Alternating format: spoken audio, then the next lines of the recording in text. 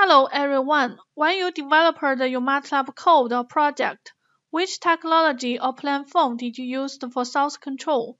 MATLAB has the capabilities of integration with Git or SVN technologies.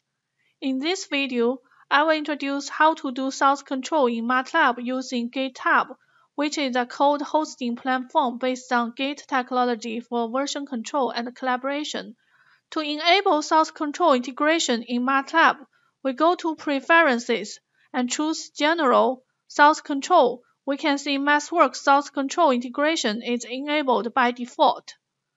In order to do source control in MATLAB using GitHub, we first need to download and install Git, and then sign up and create a repository on GitHub. In a distributed source control system like Git, we have remote repository, local repository, and sandbox. For instance, we have created a remote repository named Deep Learning for Medical Signals on GitHub. The MATLAB files will be added later. How should we clone the remote repository to our local machine and uh, create the sandbox? To do this, we first go to GitHub and copy the web URL to clipboard by clicking on this button. Then we go to MATLAB we created a new folder named uh, Deep Learning for Medical Signals, and in the blank area of the current folder browser, we right-click and choose Source Control and then Manage Files. For the source control integration, we select Git. Then we use Ctrl-V to paste the web URL to the repository path.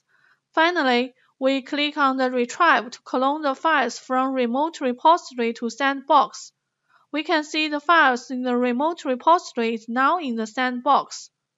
After cloning the remote repository to local, we first need to register the binary files to prevent Git from inserting conflict markers. Please follow the steps in the documentation section of source control integration, set up Git source control, register the binary files with Git. This figure shows the basic workflow of Git. The flows show the operations such as add, commit, push, pull, and fetch. We start with showing how to add files and how to commit them into the local repository. As an example, we created a new lab script named ECG Deep Learning with CWT to do ECG signal classification with continuous wavelet transform and deep learning. We right-click on this file and choose source control, we can see the commands like fetch, pull, and so on appear. We choose add to Git. The marker here changed from a hollow circle to a plus symbol. We further commit the changes with the comment like uh, created. The marker changed to a green circle now. We can see the remote repository still does not contain the file. In order to let the remote repository have the file, the push option needs to be performed. We further right-click on the file and choose Source Control and then select Push. Here, the username and password of GitHub are needed. Now we can see the file has been pushed to the remote repository. We can repeat this process to keep our source code in sync as we write more code.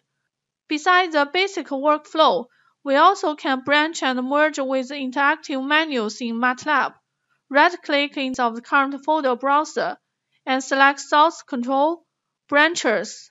As an example, we create a branch named Develop and switch from Master to Develop. Then we change the code on the Developer branch. We can merge the changes to the master branch when the changes are confirmed. In the Branches dialog box, we can view, switch, create a branch or tag, and merge branches. Please note that different branches can be created so that different groups of people can work on different branches with isolation from each other. For more information, please refer to the documentation section of source control integration. Hope you will find this video helpful. Thank you.